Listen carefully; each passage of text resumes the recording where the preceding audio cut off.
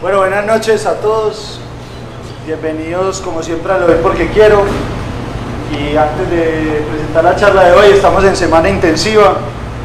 El día de mañana viene un gran amigo de Lodoy, que es Carlos Andrés Gómez. Él está estudiando doctorado en la Universidad de York y se llama Einstein Bohr, Interferencia y Dios. Eso mañana, además, después de la charla, la novia que también viene es DJ de dancehall y etcétera, reggae, etcétera, y va a mezclar, va a mezclar en tornamesa ese día después de la charla. Y el día jueves viene Mao Jiménez, que es docente de matemáticas y música, y va a presentar su libro que se llama El elogio de la mujer virtual. Están invitados toda la semana. Y, bueno, ah, bueno, también pasa un tarrito de Lodoy, que es el aporte voluntario con el que se sostiene el parche, que es para sacar los afiches y las calcas que no, que no he sacado, así que se las dejo. No hemos tenido tiempo todavía. Y bueno, sin más preámbulo, la charla de hoy viene María Carolina, que es estudiante de medicina, y Santiago, que es estudiante de maestría en salud pública, y se llama, como ya seguro saben, Derecho a Decidir, Interrupción Voluntaria del Embarazo. Muchas gracias a ustedes y todos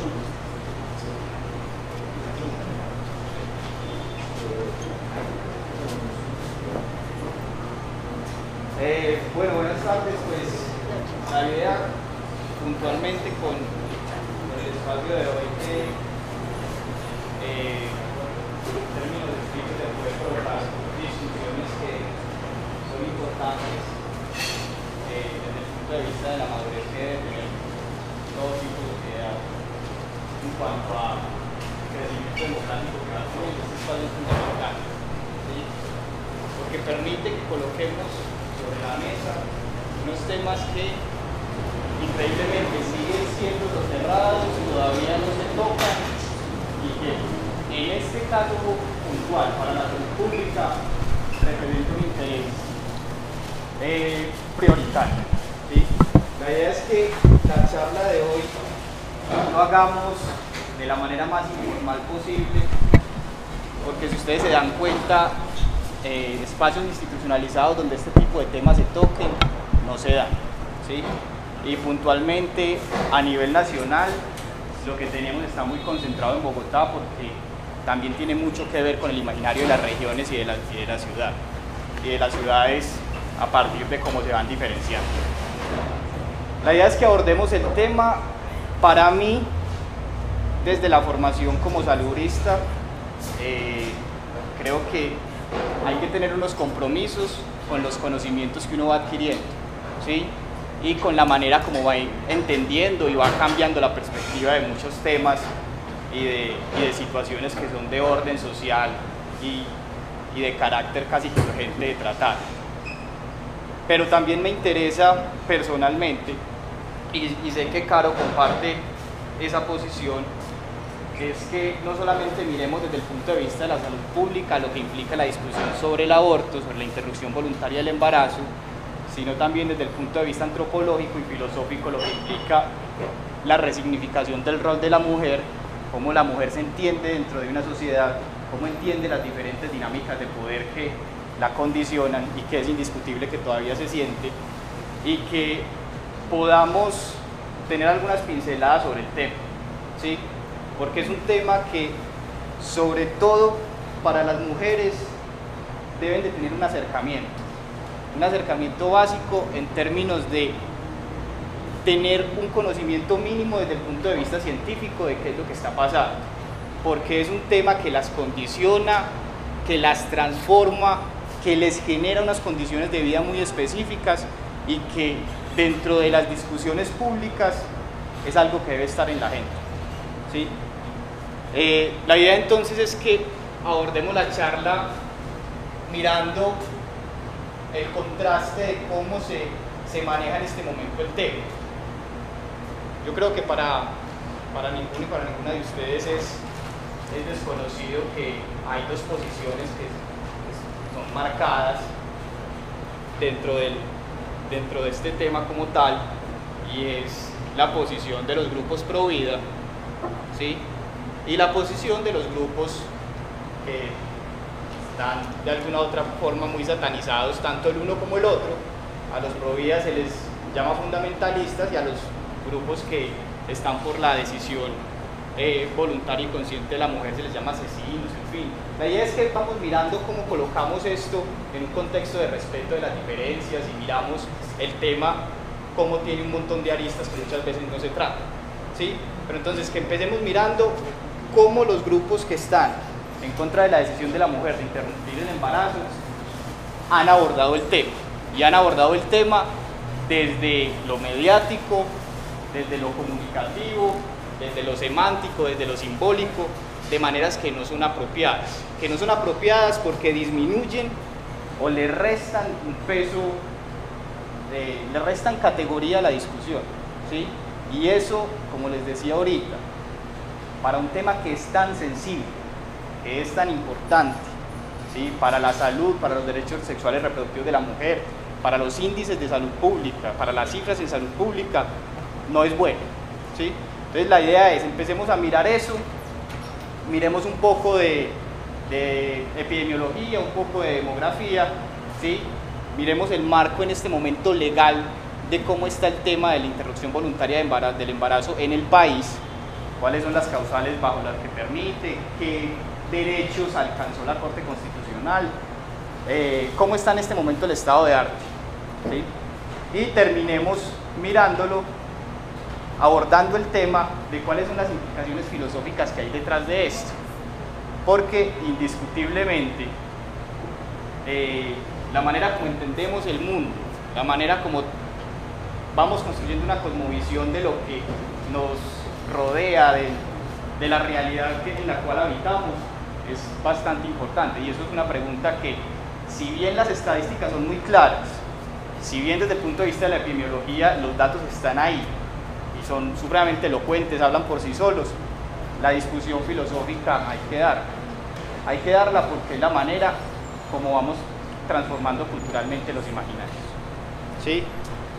Eh, ya me habían presentado, mi nombre es Santiago Gómez, estoy esperando pues dos grados de como saludista y María Carolina, estudiante de medicina.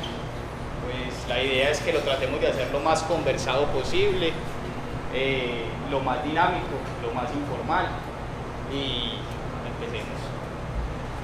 Bueno, entonces como para empezar en el tema y como les mencionó Santiago, eh, yo quiero que primero tratemos como la otra esfera o la otra cara pues eh, sobre la interrupción voluntaria del embarazo, que por cierto la nombro de esa manera y no propiamente aborto porque me parece importante traer a contexto que es una cuestión que se hace desde la mujer, que es voluntaria y que eh, de pronto se sataniza mucho y desde los términos a veces ya hay como, como ese o sea, se, se esa predisposición hacia que es algo negativo para nosotras.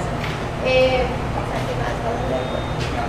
eh, entonces vamos a empezar con unas imágenes que hacen como parte, que quizá algunos las hayan visto, de las campañas que se realizan en distintos países que hacen parte pues de la propaganda prohibida. Eh, uno de los argumentos fundamentales para ellos y que pueden resultar para mí, en mi concepto pues absurdos, es que la interrupción del embarazo o el aborto deja lesiones que son imborrables en la mujer, tanto físicas como eh, pues, biológicas eh, como psicológicas. Y quiero contarles que en, ese aspecto mm, la mayoría de las mujeres que voluntariamente deciden hacer un aborto no es una decisión fácil. Si una mujer lo decide es porque de verdad es un embarazo que no es en absoluto deseado y que entorpece pues todo su proyecto de vida. Entonces, en una investigación que se hizo como de la psicopatología posterior a, las interrupciones del embarazo en, México, en el año 2002, eh, demostraron que realmente no hay una, una, relación y que, por el contrario, las mujeres que tienen embarazos no deseados pero que están forzadas a tener esos hijos tienen peores implicaciones psicológicas y que las que sufren de depresiones o otro tipo de trastornos, nada puede asegurar que si no hubieran tenido una interrupción del embarazo, no hubieran tenido al igual esa sintomatología. Eh, hay campañas que son extremistas, que se valen del amarillismo y que, y que los pro han comprendido que ese amarillismo la gente lo busca mucho y sobre todo desde el desconocimiento. Eh, o satanizando, por ejemplo, la ideología de género eh, absolutamente pues como quitando la inequidad, eh, poniendo pues como la inequidad sobre todo para nosotras las mujeres.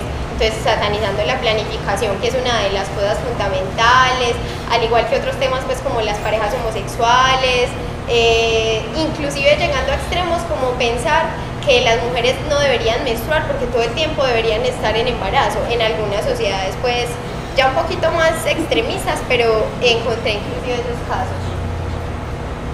Este tipo de imágenes, por grotescas que puedan parecer, son necesarios mostrarlas, porque este es el tipo de propaganda que se hace.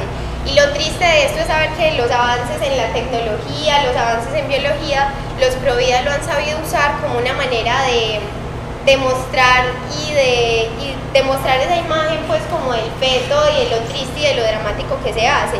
Y lo que yo quiero es desmentir eso, o sea, nunca dentro de los, dentro de los países donde es una cuestión legal, por supuesto que hay como toda una reglamentación para que se haga dentro de términos seguros.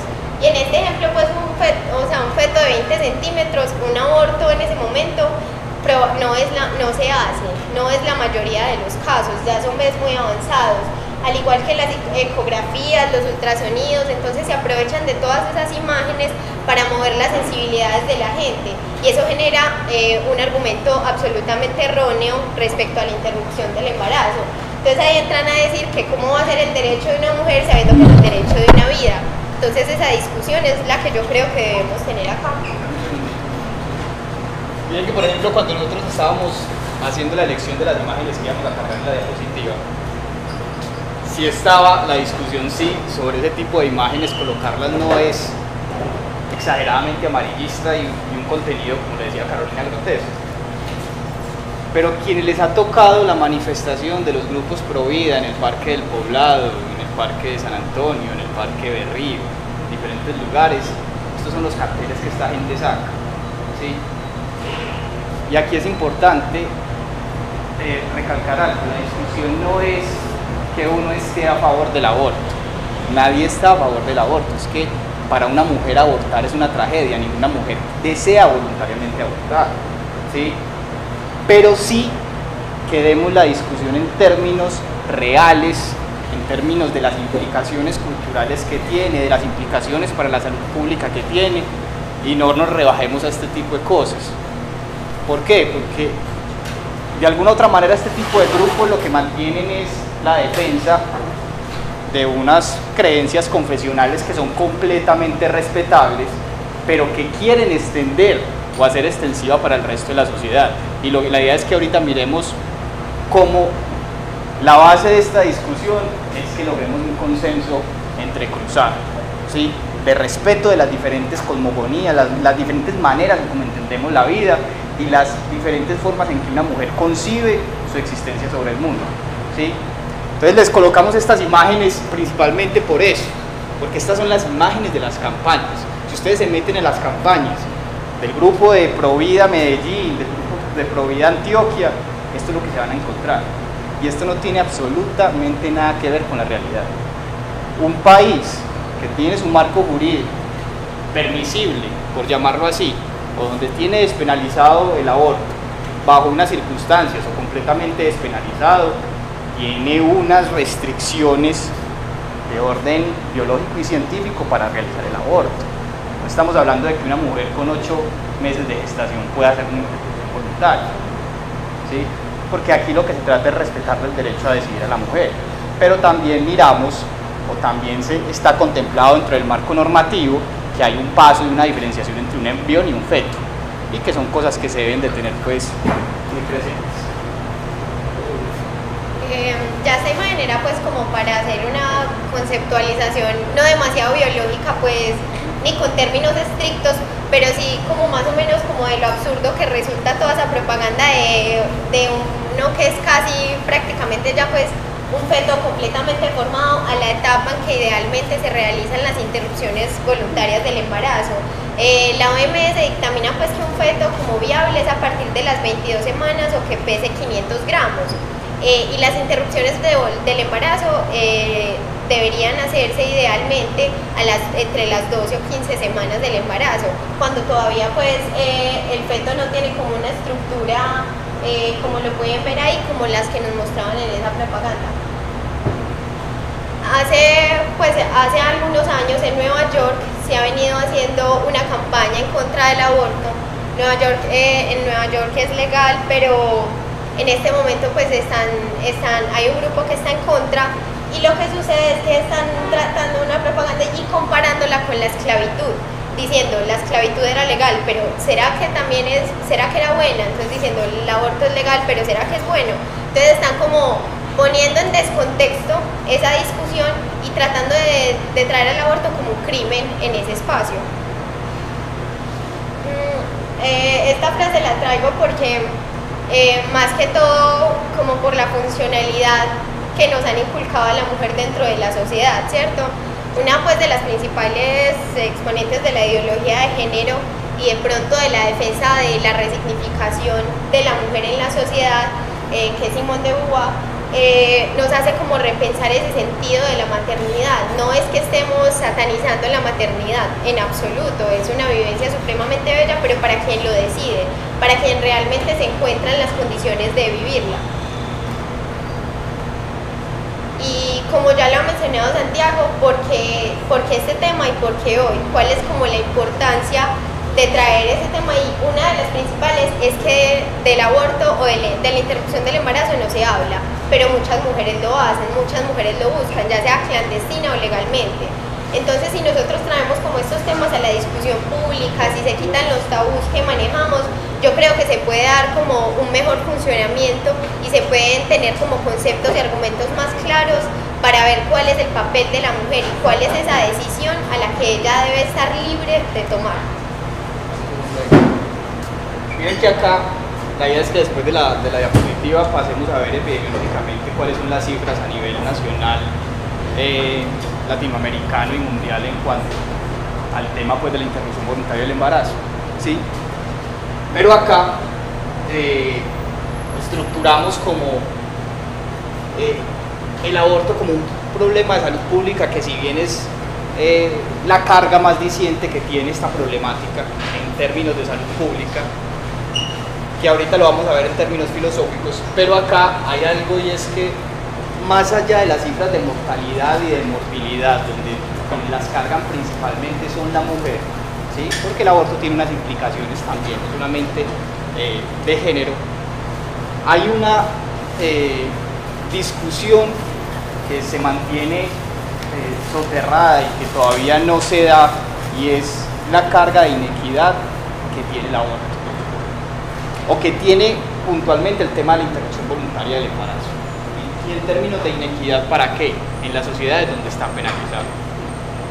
Desde el punto de vista personal, yo creo que para mí fue una de las razones o de las causas que más me tocó frente al tema, ¿sí? Y que me puso a pensar, no, esto es una vaina que hay que colocarla en contexto y hay que discutirla porque no podemos seguir encasillados en una discusión que está por fuera de la realidad y que lo que busca es mantener otro tipo de órdenes eh, sociales pero donde la, donde la mujer está llevando una carga grandísima, no solamente en términos de mortalidad.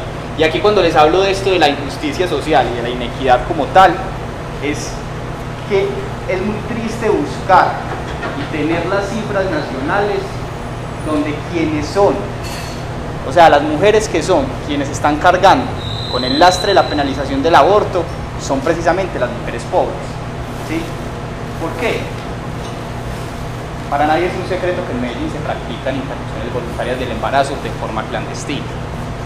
Y vos sos una chica de EAFID o una compañera del CES y podés en este momento te vas y te parás al parque del poblado, sacas tu cartel y te pronuncias a favor de la vida y tenés un esnovismo ahí muy cliché y bacán, lo haces.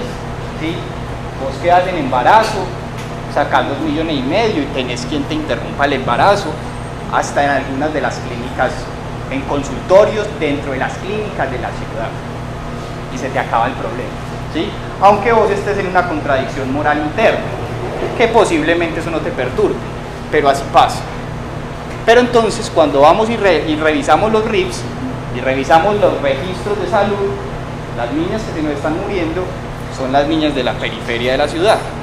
¿Por qué? Que resulta que es una niña que queda en embarazo y hay un contexto con una carga social supremamente problemática. La niña hace una lectura de su realidad y dice, yo aquí no puedo tener un niño, ¿sí? O vamos a una, una posición muchísimo más liberal, yo no quiero ser mamá. Así de sencillo, ¿sí?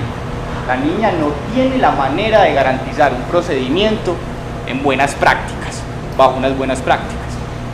¿Qué hace la niña? ¿Sí?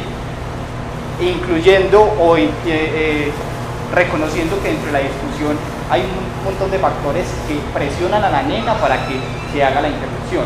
¿Qué hace la nena? Va y recurre a eh, un fármaco que le, que le expulse el feto, que le puede romper la matriz, ¿sí?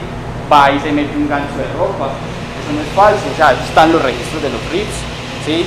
se mete una varilla, se introduce una varilla, hace cualquier tipo de prácticas en donde atenta con su vida, termina muriendo, termina quedando estéril, ¿sí? porque no puede tomar una decisión. Entonces, la penalización es una expresión de inequidad en salud y de inequidad social supremamente flagrante, porque los abortos se siguen presentando. Aquí las nenas siguen abortando. O sea, Colombia, los registros del 2013 fueron 400.000 abortos. O sea, el tema se está dando ahí, es un tema que está.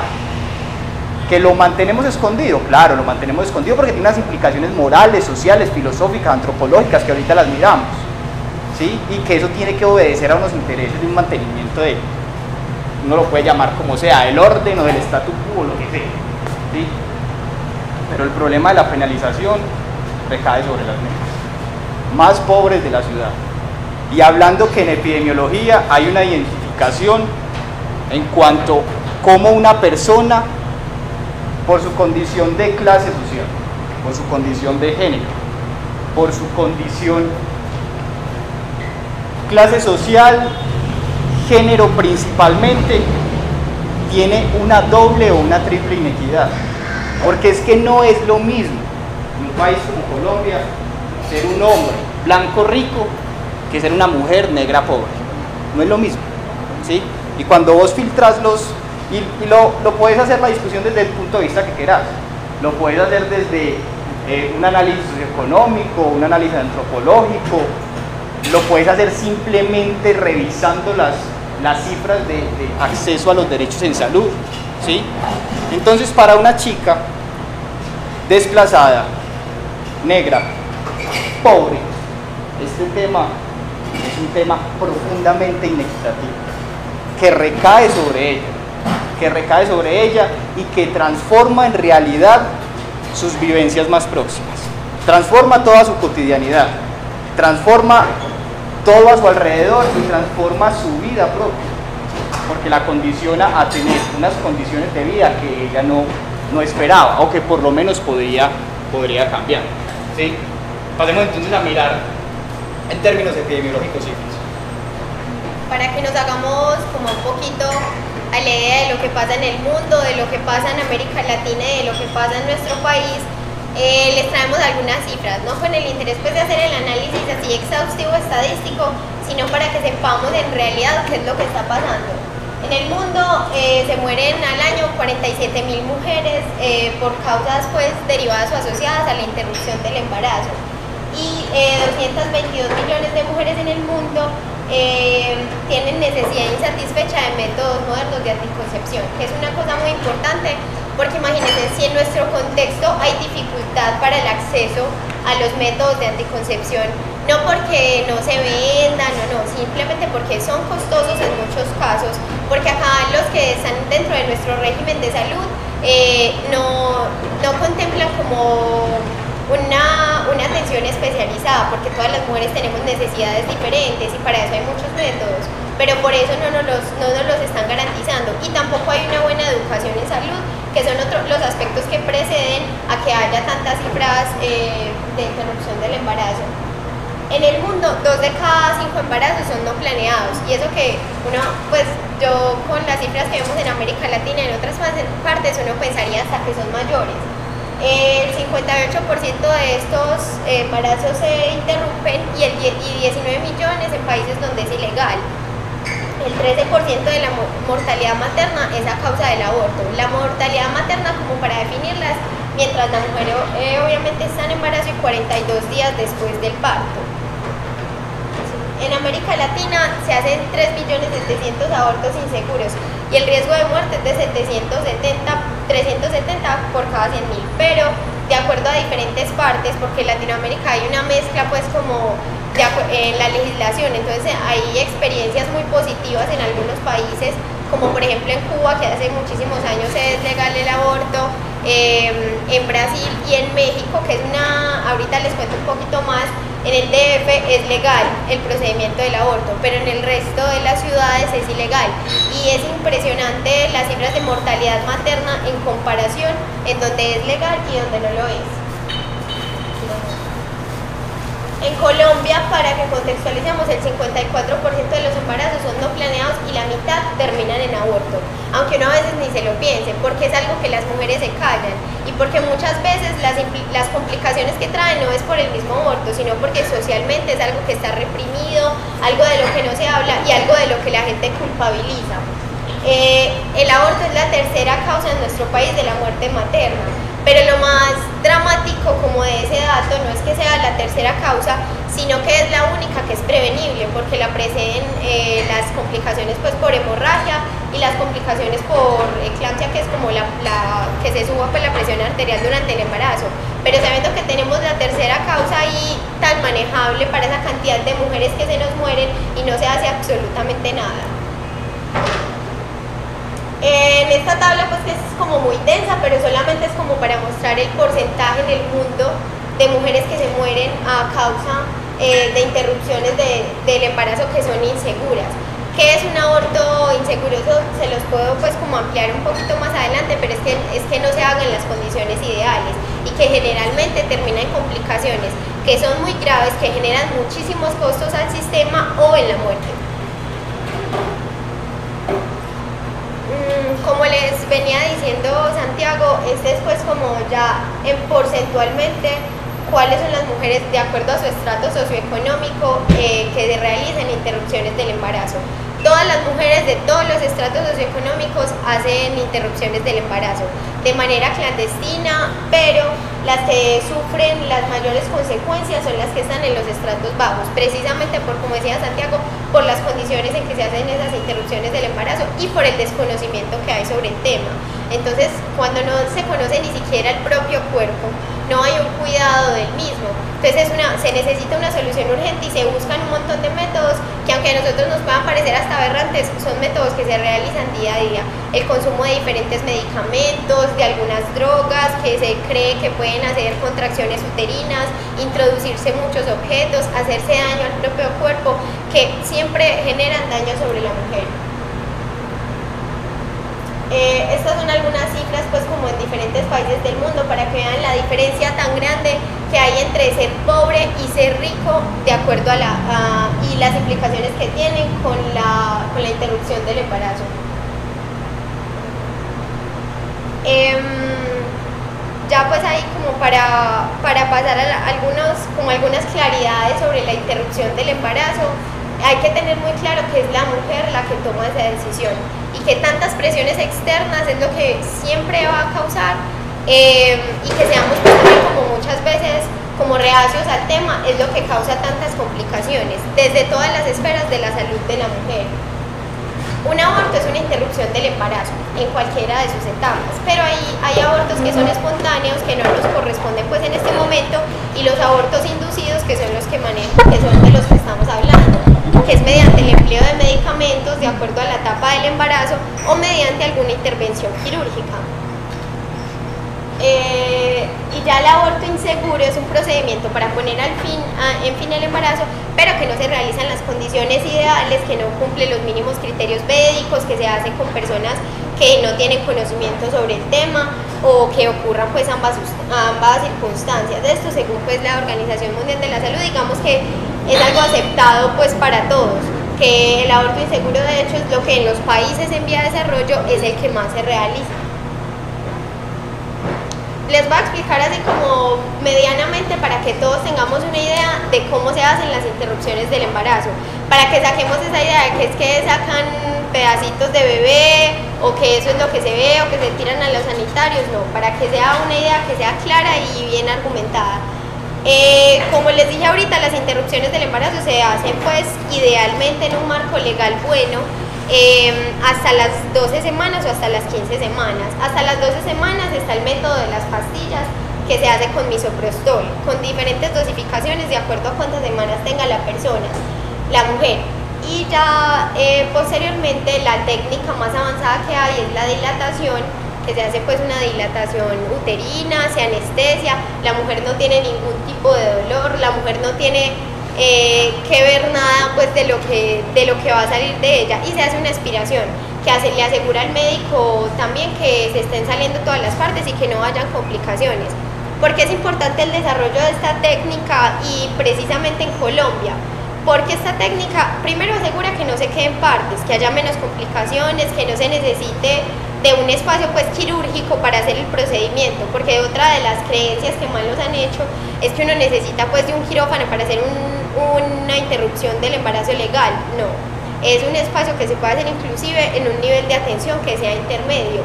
Eh, con ese método. Pero ¿cuál es el problema de nuestro país? Que también hay muchos, mucho personal de la salud que tiene desconocimiento o que quiere prestar barreras a ese servicio y se hace con una técnica que es de curetaje que es de cortar eh, sí, pues, eh, los pedacitos de embrión que hay y de sacarlos, que tienen muchas más complicaciones porque va a causar más infecciones, porque es más traumático para, para el personal de la salud y para la persona. Hay una, eh, Ruth Bader es una, es una jueza de Estados Unidos que es una de las pioneras eh, como en sacar y en dar como el, el argumento legal de por qué es importante la despenalización del aborto. Y es algo que es muy claro, pues, y que yo creo que, que la idea es que no, no es para promocionarlo. Como decía Santiago, a ninguna mujer quiere abortar, ni es una experiencia que le gratifique. Simplemente es porque, dado que hay tantas circunstancias que pueden causar un embarazo y que no es una cosa voluntaria, tiene que haber ese respaldo para que la mujer pueda decidir sobre su propio cuerpo. Entonces, eh, la decisión de que una mujer quiera o no tener un hijo es ahí eh, de la Corte que logró pues la Corte Constitucional y que de pronto la mayoría lo han escuchado y es que la interrupción del embarazo está eh, viable en tres casos pero la mayoría de la gente digamos que tiene una malinterpretación de esos casos. Entonces lo importante es que lo tengamos en cuenta. Primero es cuando el embarazo constituye un riesgo para la salud de la mujer. Pero ¿qué es la salud? y aunque eso es otro tipo de discusión muchísimo más amplia, pero que contemplemos al menos que es un bienestar biopsicosocial y que no tiene que implicar un peligro pues inminente para la mujer, no es que la mujer se tenga que estar muriendo o que la mujer pues vaya a sufrir una cosa gravísima porque esté en embarazo, no, con que ella considere que está en peligro su salud biológica o su salud mental es una de las razones para la que se considere. ¿Cuál es el problema? Que esa, ese problema o ese peligro de la salud de la mujer, ya cuando uno va a los pasos de la interrupción del embarazo, debe estar certificado por un médico, que es la otra cara de la discusión. ¿Cómo reacciona el personal de la salud frente a ese tema? Entonces, eh, los médicos pueden hacer objeción de conciencia, pero tiene que ser una cuestión escrita y por cada vez que quieran objetar, tienen que escribir al respecto de cuáles son las razones. Y una institución nunca le puede negar la atención a una mujer que, que, decida realizar una, una, interrupción voluntaria del embarazo. Eso dice la sentencia, pero eso pues en la realidad de los pasos de la EPS eh, generalmente no ocurre, porque le ponen muchas trabas, porque mm, los, eh, las personas que tienen interponen pues como sus argumentos morales para, para eh, prohibir que la mujer lo haga y al final las mujeres tienen tantas semanas de embarazo, ya se han aguantado tantas cosas, ya le han tenido que decir a sus familias que terminan teniendo los hijos aunque no lo quieran. El segundo de los casos, eh, si existe grave malformación del feto que haga inviable la vida. Eh, no es que se obligue a las mujeres que tengan pues, fetos inviables a hacer la interrupción del embarazo, esa es una decisión, pero es una de las causales pues, que también se considera eh, inclusive son las que casi siempre se hacen más tardíamente porque se evidencian después, las que ya están en, una, en un periodo posterior pues, del desarrollo embrionario. Y por último es cuando el embarazo sea resultado de una conducta de acceso carnal em, eh, violenta sin consentimiento de la mujer. ¿Qué pasa en nuestro país? En nuestro país las cifras de acceso carnal violento son altísimas y ocurren inclusive en las, en los, entre los esposos. No, que según las sentencias pues, que han sacado, la mujer no tiene que demostrar que haya penetración forzada, ni, ni tiene que haber testigos de que fue algo involuntario, no, con que la mujer idealmente pues diga que es un acceso involuntario, eso es lo que se debería creer. Y no tiene que haber, el juez no puede pedirle ni que haya un argumento pues de un policía, ni que se certifique, ni que si de verdad sí será una víctima, sino que con que ella diga que es una víctima de, una, de un acceso carnal violento es suficiente. Eh, otra de las, eh, eh, de las cosas que pasan es que ser una mujer embarazada a sus 14 años en nuestro país, eh, acceso, pues las relaciones sexuales antes de los 14 años son consideradas violaciones. Entonces, en ese caso, cualquier mujer embarazada a los 14 años deberían ofrecerse la interrupción voluntaria del embarazo, pero eso no ocurre y de hecho si muchas niñas pudiéramos darle como ese poder de decisión, tuvieran mejor información y pudieran como empoderarse de, su cuerpo de esa manera, las cosas resultarían muchísimo mejor para el desarrollo de su vida. Eh, en esa segunda columna eh, entra, está contemplado el síndrome de Down.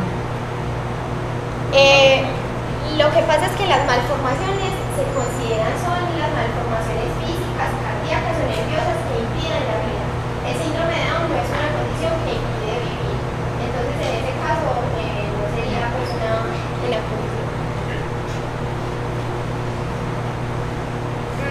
antes de pasar a eso quería pues como hablarles de lo importante de los costos que tiene para nuestro sistema de salud que es bien desgastado el hecho de que haya tanta tasa de abortos inseguro como les mostré ahora y es que el hecho de tener que usar eh, más camillas, más sangre, más quirófanos, o sea, es tan, es tan absurdo pues la manera como se maneja este tema eh, desde nuestra legislación que las EPS prefieren atender todas las complicaciones después de tener abortos inseguros a prestar simplemente un buen servicio de interrupciones voluntarias del embarazo que puedan hacerse de una manera rápida, de una manera sencilla y que sean seguras a la mujer. La vía de atención, ¿cómo funciona? Eh, de las que son legales pues en nuestro país, se supone que uno atiende a consulta, hace la solicitud, el médico verifica que sí sea una situación que entre dentro de uno de los tres casos que les mencioné, eh, se hace pues como la, se asegura de que la persona sí esté en embarazo y se le debe responder en un término máximo de cinco días hábiles. ¿Qué pasa? Esos términos no se respetan y las mujeres pues al final terminan optando por otros medios, pero idealmente debería de ser así que se responda dentro de esos días y que después de que se realice lo más rápido la interrupción del embarazo, eh, se preste toda una atención psicológica, social, se haga todo el, trabajo sobre los métodos anticonceptivos, se le den de manera gratuita los anticonceptivos para que no haya ese riesgo de reincidencia en el embarazo y se haga un seguimiento hasta posterior a un año de que la mujer eh, decida hacer la interrupción.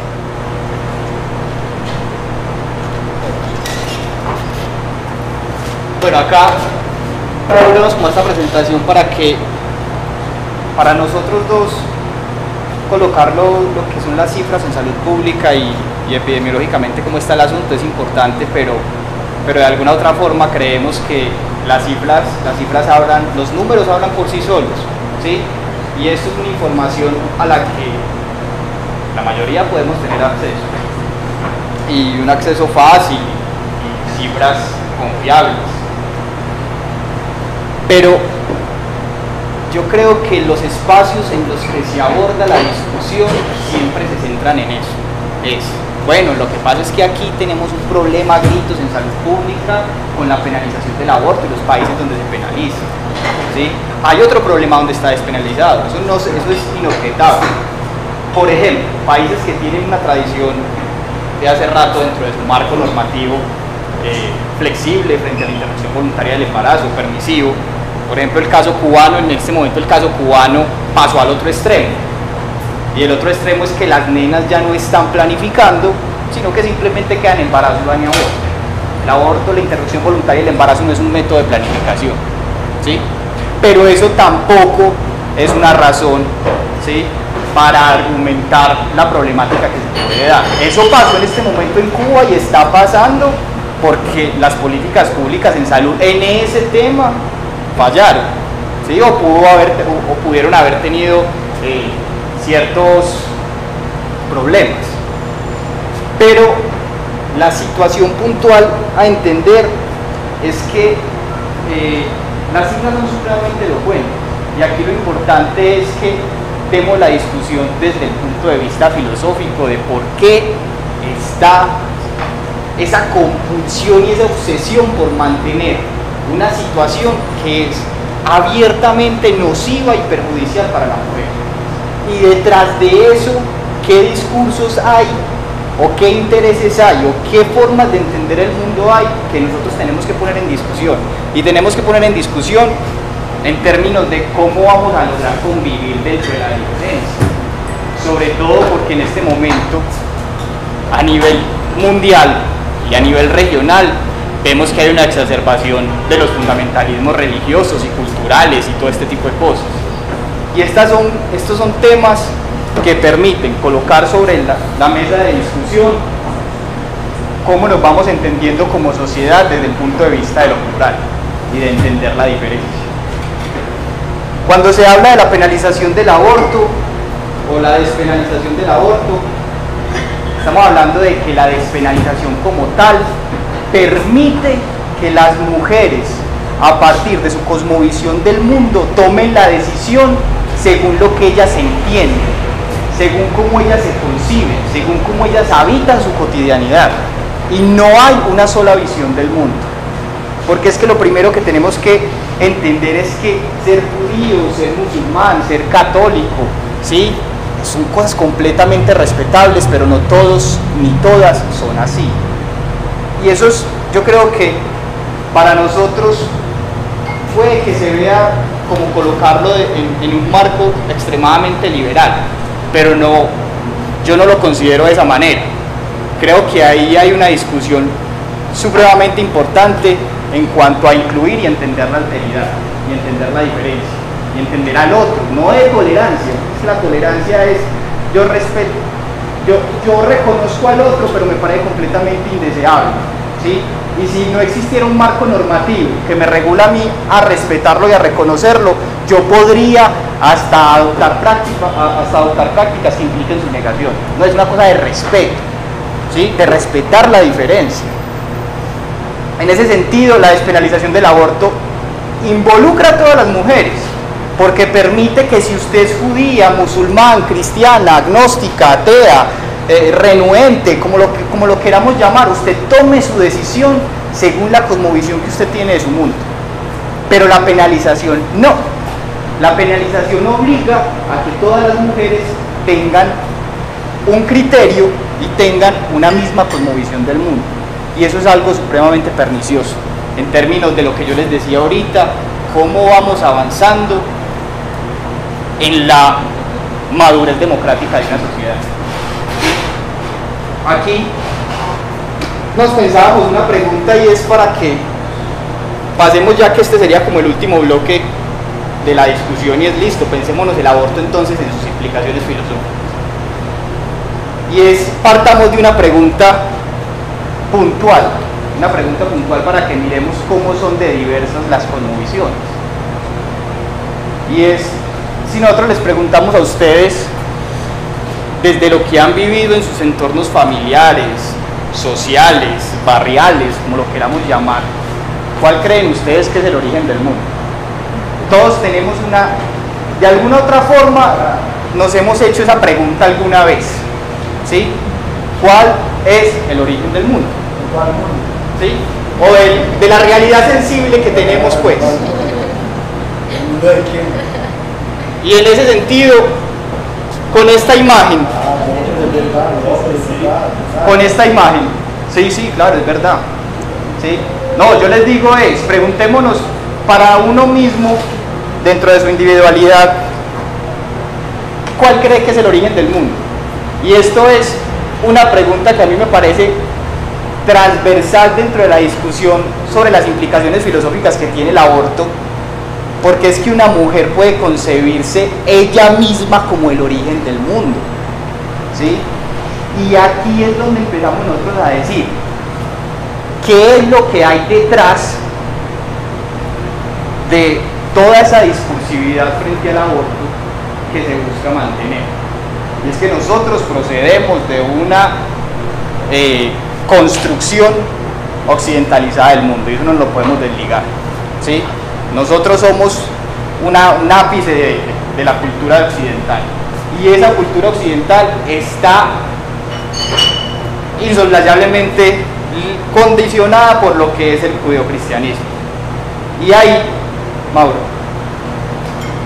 Sana, ahora que preguntas del origen del mundo, eh, en la prehistoria, antes de que el ser humano se asentara, dejara el nomadismo, eh, la- las religiones o las concepciones de la creación de, de este universo se, eh, se centraban a partir siempre de la diosa, es decir, de la mujer. Eh, para el ser humano lo, lo normal, lo consecuente era que si hay un creador o un origen, ese origen tenía que ser femenino, porque la mujer eh, es la única que puede dar, procrear, reproducir, traer, ¿cierto? En el paso de esas religiones que convirtieron de diosa a dios, a un dios masculino, fue un poco confuso, porque eso es como antinatural, que el hombre, Dios, o el Dios masculino, pudiera generar lo que realmente genera es la mujer, ¿cierto? Su cosmogonía, pues esa relación simbólica y todo eso. Detrás de esa sociedad occidental que vos mencionás que estamos completamente arraigados, hay el judeocristianismo, es algo completamente patriarcal. Entonces también estamos hablando de una eh, configuración cultural a partir de lo religioso, fuertemente de lo religioso, patriarcal, donde el hombre es el que impone, es el que tiene poder, incluso el poder sobre la mujer. Antes de estas sociedades, en estas sociedades preagrícolas, la mujer era ocupaba pues un rol mucho más importante y tenía más poder incluso. A nosotros nos parece que lo, lo patriarcal es de siempre y de hecho las sociedades preagrícolas era más matriarcal, eran sociedades matrilineales. Pero, pero miren, más allá de- de- del contexto que hace histórico Mauricio, sí, que es muy importante, aquí no es cuál es la visión buena y cuál es la visión mala del mundo. Esa no es la posición, ¿sí? A mí me parece tan respetable lo que piensa un hindú, como lo que piensa un judío, como lo que piensa un cristiano, lo que piensa un protestante, un chií, un suní, etc. ¿sí? Aquí es, hombre, aprendamos a vivir, aprendamos a vivir con la pluralidad de cosmovisiones del mundo. Y que una mujer conciba, porque en su experiencia vital entiende que el, origen del mundo es ella, es que, que una mujer diga, venga viejo, es que ninguno de ustedes salió de una, de costilla, aquí ninguno salió de una sustancia trinitaria que hacen un solo Dios, no, aquí todos salieron de una vagina, eso es una cosa completamente respetable, ¿sí? Así como el que piensa que nace de un árbol, que nace de la luna, que nace de una virgen que nunca fue poseída, lo que sea. ¿sí? Es mirar cómo aprendemos a respetar las diferencias, las diferentes visiones del mundo. ¿sí?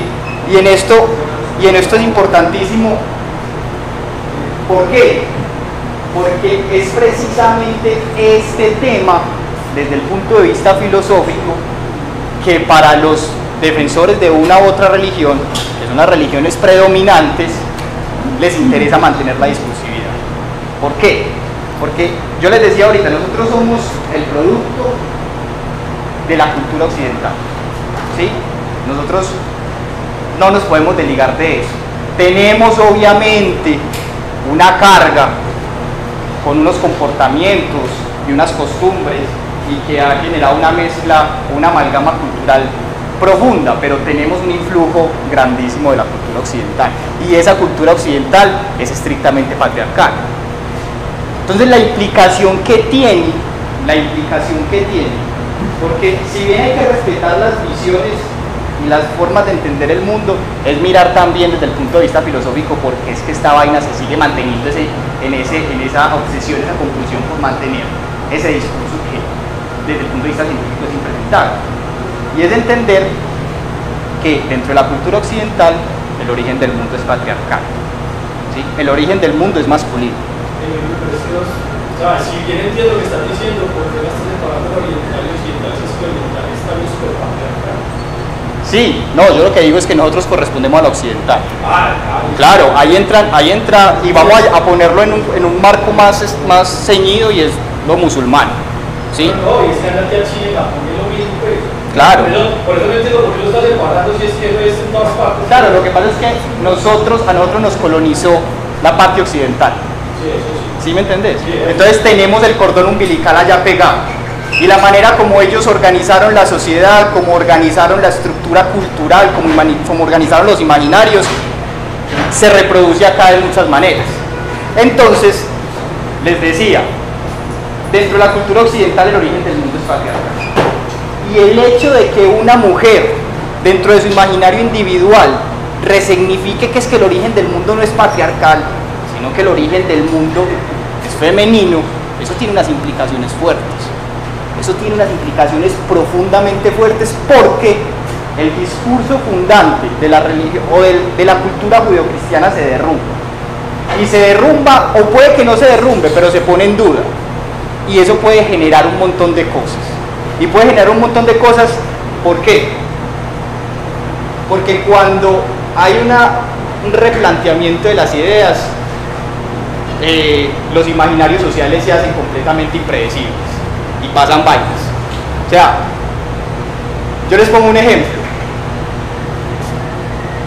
Cuando uno hace un acercamiento muy somero a lo que fue la Revolución Francesa, cuando le cortan la cabeza a Luis XVI, eso no fue una cosa de que los franceses llegaron y empezaron a pensarse, ve, es que esto es muy absurdo de que hay un tipo que dice que es designado por Dios y viene y hace todo el ordenamiento social.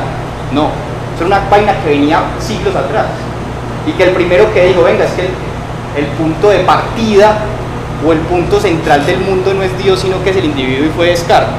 Y eso fue una idea que empezó a calar en el imaginario europeo hasta que descendió o hasta que terminó en eso hasta que terminó en que la sociedad francesa, en común acuerdo, llegaron a legitimar la decapitación de un rey. Eso era impensable, completamente impensable. Y no por el poder absolutista del rey, era porque la gente tenía culturalmente inoculada que había una presentación terrena, una representación terrenal de Dios sobre la tierra que estaba designado para decir cómo debía funcionar una sociedad. Transformar eso fue una cosa. ¿Sí? Si nosotros miramos, ustedes que están aquí, las mujeres que están en este momento acá, son una generación completamente eh, afortunada. ¿sí? Las mujeres entraron a la universidad hace 70 años, ayer, fue reciente, acá en Colombia. ¿sí? Y duraron 20 años para poder sentarse de tú a tú con los hombres. Duraron, hay, una, hay, un, hay un relato de una cartagenera muy bonito, donde ella dice cómo, por ejemplo, entraba ella clase que era la única mujer y los hombres la obligaban a sentarse en el piso. O sea, es una cosa reciente, es que no estamos hablando de que eso pasó hace 300 años, una cosa reciente. Las mujeres en Colombia pueden votar hace 50 años.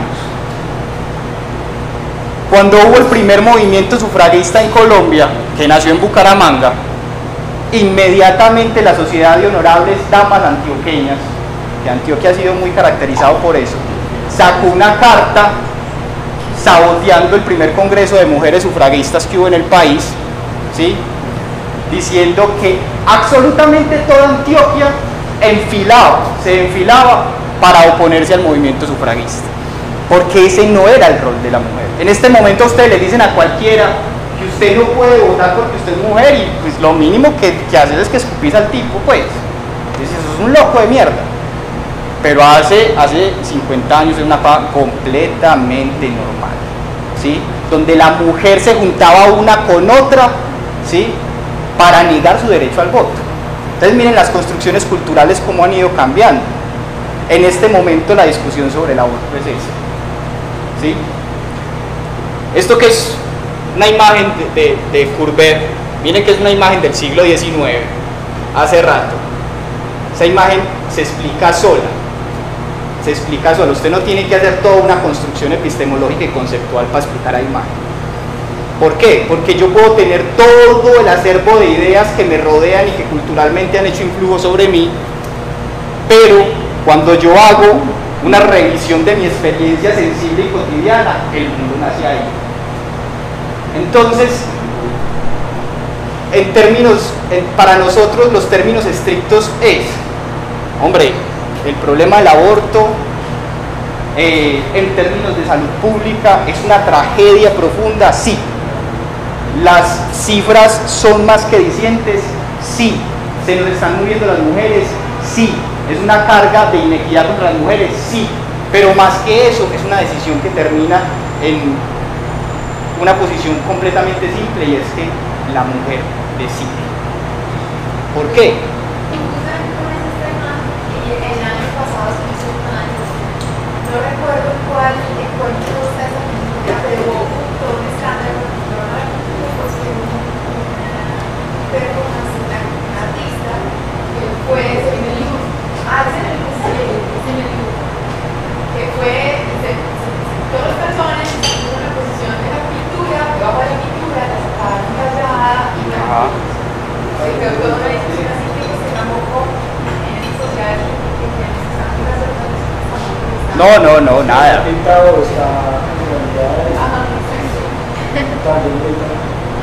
Nada, en esa es, es una, una, falacia pensar que, que, este tipo de sociedades tienen las, las libertades civiles y políticas resueltas. Sin embargo, yo quiero un poco que ahora, yo sé que estás, están metidos en un tema filosófico y pues la verdad es que es como muy esperanzador si los trabajadores que están aquí en esta, en esta lucha en Colombia a ese Pero digamos como aterrizar un poco, eh, porque no está únicamente la, eh, digamos, la, la, la dualidad entre querer ser o no ser mamá, o está, está también como todas las complejidades que ustedes mostraban, someramente la, las tres, las tres, los tres casos que está despenalizado el aborto en Colombia. O sea, hasta qué punto efectivamente eso se está aplicando en Colombia.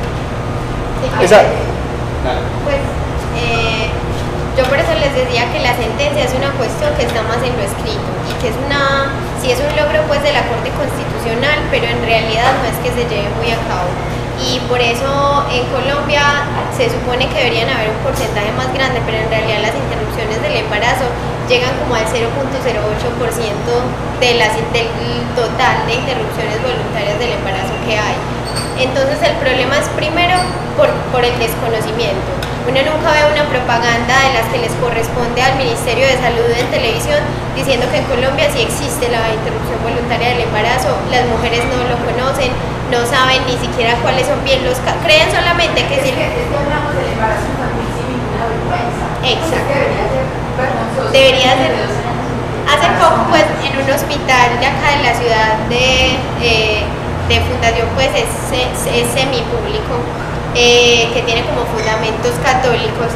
Estábamos haciendo una investigación a ver en cuáles de las, de las mujeres embarazadas menores de 14 años efectivamente se les había al menos ofrecido la interrupción voluntaria del embarazo y la respuesta es a ninguna. A ninguna ni siquiera se le había mencionado. Entonces esa objeción que hace desde desde la institucionalidad, que se hace desde el mismo personal y el hecho de que no haya nadie que siga eso, de que a nadie le importe que eso se lleve o no, es lo triste que, hay, que pasa en este país. Miren, lo que dice Caro, una cosa muy puntual, y es que el grueso de las facultades de medicina que hay en este país están adentadas en universidades privadas, es porque acá no hay infraestructura pública o universidades. Y la mayoría de las universidades privadas son confesionales, ¿sí o qué? Entonces a vos en la UPB de interrupción voluntaria del embarazo no te hablan y de planificación te hablan lo obligado porque hay casos que eso es necesario desde lo patológico. Y pues intentamos que, intentamos no, sabemos universidades que dan un criterio sobre la homosexualidad como si no hace nada, o que, o que dependen del Vaticano como institución, pues no van nunca a formar un médico, siquiera con un criterio libre. Carlos y yo que tenemos la oportunidad de estudiar en una universidad pública pensamos así, y estaríamos en una lucha moral muy grande si estuviéramos en una universidad privada. Entonces también el papel del médico y de la medicina ejerciendo un poder que nunca se, asume con, responsabilidad o que nunca se entiende como que se tiene en las manos de uno, sino que es una forma muy desprevenida, siempre asumiendo el papel como el sanador, el curador, el, que todo lo puede porque, estudió más años que el resto. Es, es, una cosa muy, absurda y que, que también es algo lo que le tenemos que apostar nosotros, que estamos jóvenes todos, a que cambie. Miren, miren que la pregunta la, pregunta tuya es muy importante y es, estamos en una situación, a mi parecer, tan crítica que hay instituciones públicas privadas, ¿sí? clínicas y esas, donde los médicos, y hago un paréntesis ahí, por eso es que es importante la discusión filosófica de este tema, porque esto es una situación cultural, y es una situación cultural que puede tener muchas implicaciones, pero que para mí es principalmente respete al otro, respete al dentro de su decisión y de su autonomía y su es su visión del mundo. Los médicos prefieren no pasar los registros de chicas violadas por el único hecho de no ofrecerles el servicio de interrupción voluntaria del embarazo. Imaginen que eso es, una, es un exabrupto, una vaina impresentable. ¿sí? El personal médico, que estamos hablando de un tipo que pasó por la academia, donde supuestamente pudo ampliar su interpretación personal individual del mundo. ¿sí? Entonces, la, la disculpa.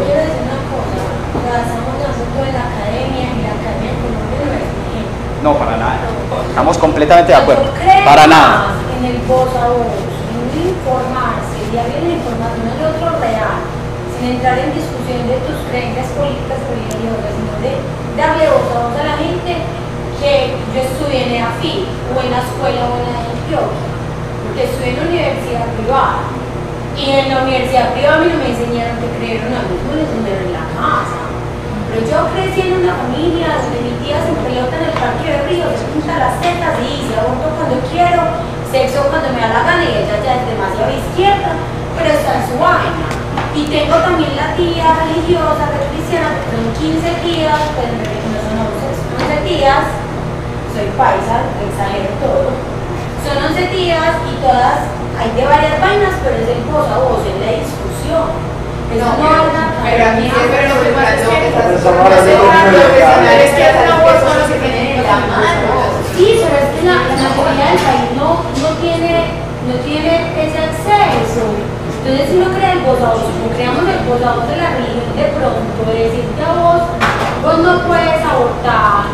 Si llevamos eso a muchas cosas, no sé, con varias fundaciones, con varias gente que pueblos, llevando información, de pronto se puede cambiar más fácil. Pero mira que están hablando de, de un asunto de salud pública, que además es un enfoque supremamente interesante, porque nunca, yo creo que nunca se había abordado desde un punto de vista acá.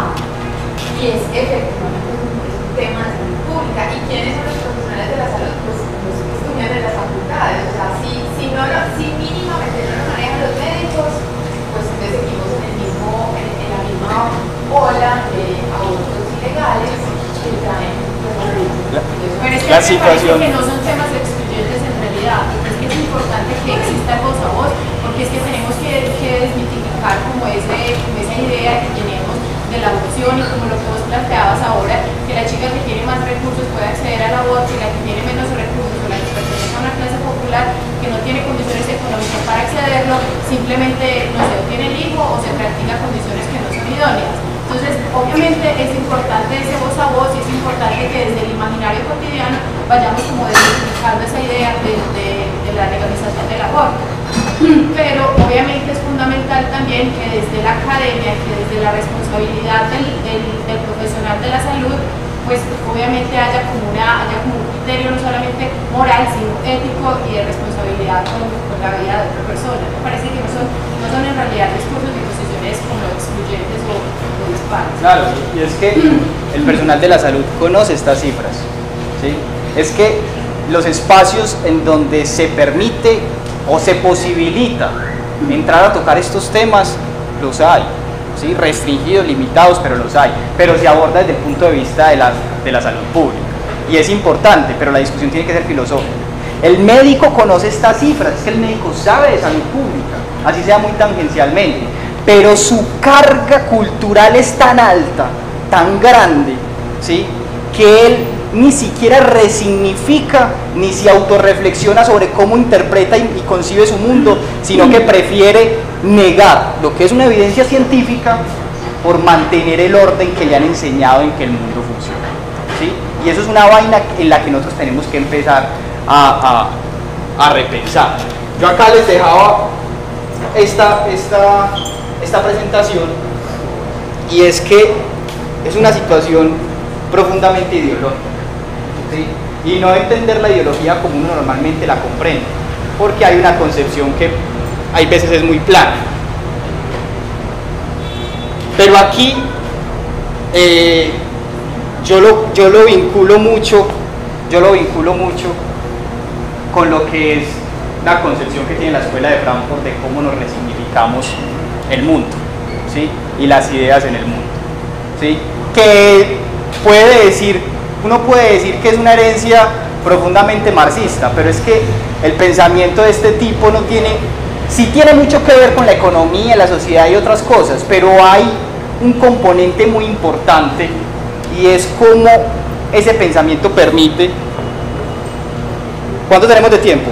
Dos minutos. ¿Cómo ese, ese pensamiento permite la autorreflexión? Y la autorreflexión en términos de cómo concibimos las ideas y su relación con el mundo. ¿Sí? Porque les digo aquí eh, rápidamente lo que habla, por ejemplo, eh, este autor puntualmente que es Marx en, en la ideología alemana, es que él dice, venga, tenemos dos vainas, las ideas y el mundo. ¿sí? Unos dicen que primero nace la idea y después el mundo, esa es la posición hegeliana. Él dice, no, primero es el mundo y surgen las ideas. ¿Cuál es la crítica que él hace así de forma muy somera?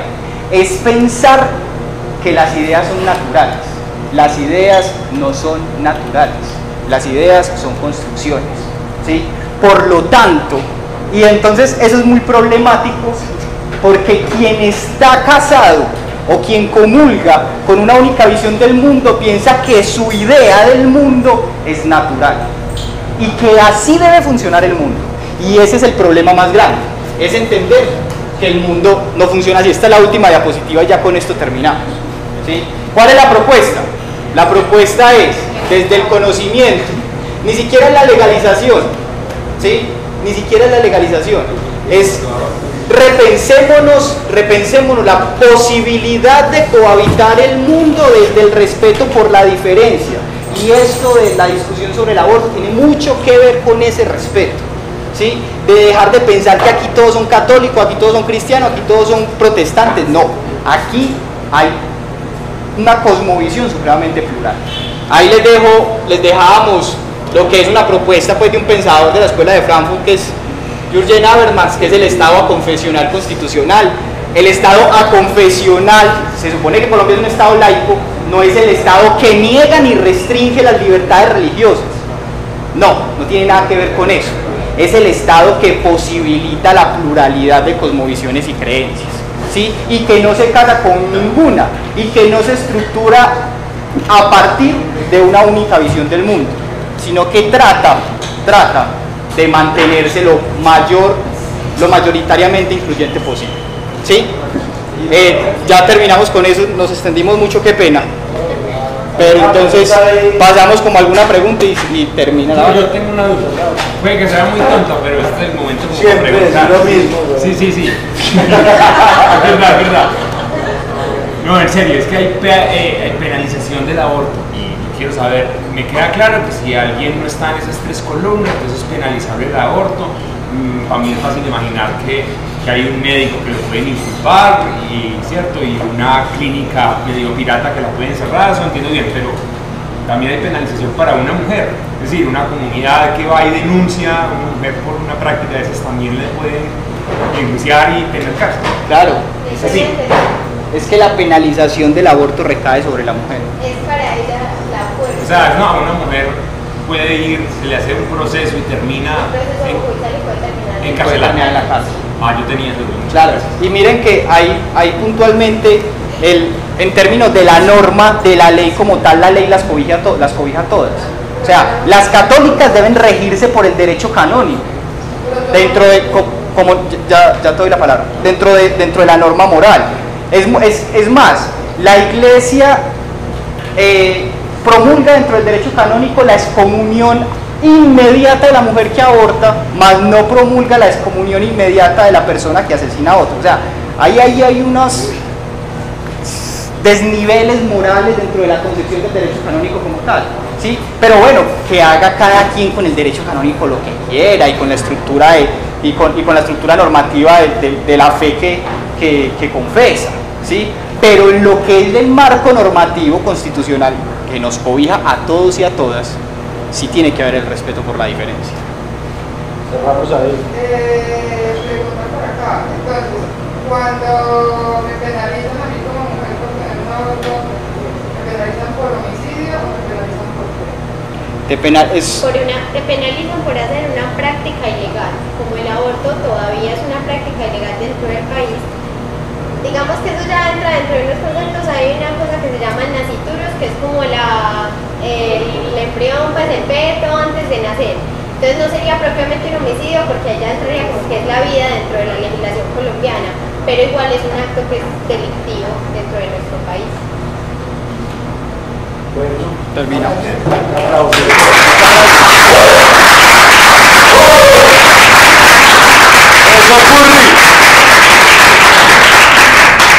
Bueno, como siempre para despedir, invitarlo el mañana que viene Carlos, que ya está por aquí.